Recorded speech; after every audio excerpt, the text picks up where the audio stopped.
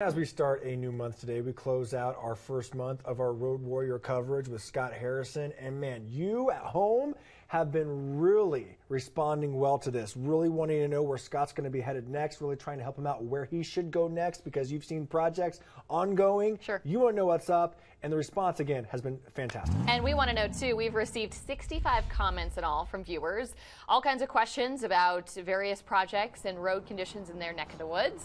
The Road Warrior, Scott Harrison, is live in South Pueblo this morning. He's at the intersection of Prairie and O'Neill Avenues with more on a project there. Scott, good morning.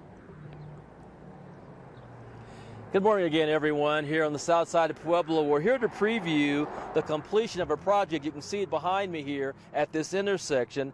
It combines several elements. There's new traffic signals here. There's a new pedestrian crosswalk to replace an older one that was a little bit farther down the street.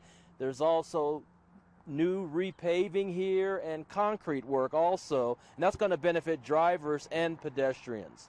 We also want to report on what we've learned in the four weeks of the Road Warrior coverage that we brought you. Of the 65 responses we've received, around a third of them, 21, expressed paving problems or needs. We told you about one of them, South Nevada Avenue in Colorado Springs, from I 25 to Fort Carson's main gate on Highway 115. And in the process of covering that, we learned that CDOT already has plans to repave that stretch next year.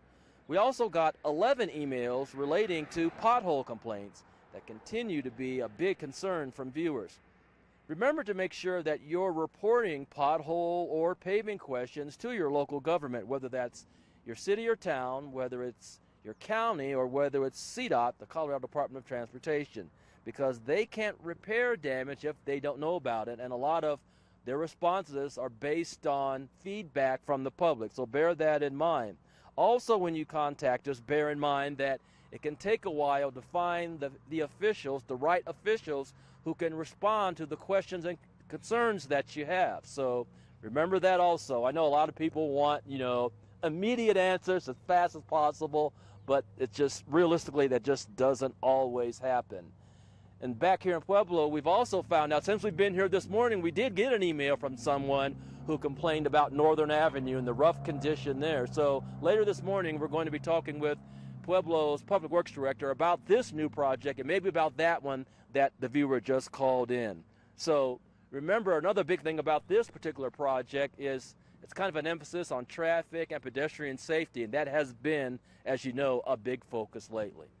We are live on the south side of Pueblo this morning. I'm the Road Warrior, Scott Harrison for KRDO 13. All right, Scott, thanks so much. And again, we want to hear from you. Scott has been inundated with tips and ideas and problem areas, and he's bringing those to city and county leaders and uh, construction crews. Again, though, we know a lot of these projects take time, cost money. So again, give us some time as we get back to your uh, concerns and questions. And again, Scott will take those to officials. But you can email him at roadwarrior at krdo.com.